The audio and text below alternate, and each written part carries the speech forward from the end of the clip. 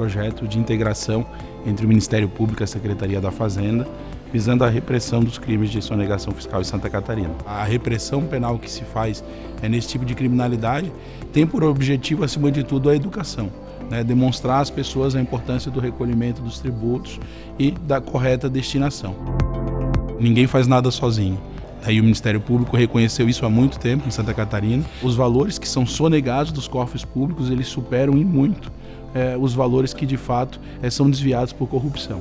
Nós precisamos também não só cuidar é, da forma como os recursos saem, mas principalmente garantir que eles entrem. Essa premiação ela demonstra um reconhecimento de que nós estávamos no caminho certo. Né, de que realmente investir nisso, investir nessa integração, era algo que permitiria uma maior eficiência da nossa atuação no combate à sonegação fiscal.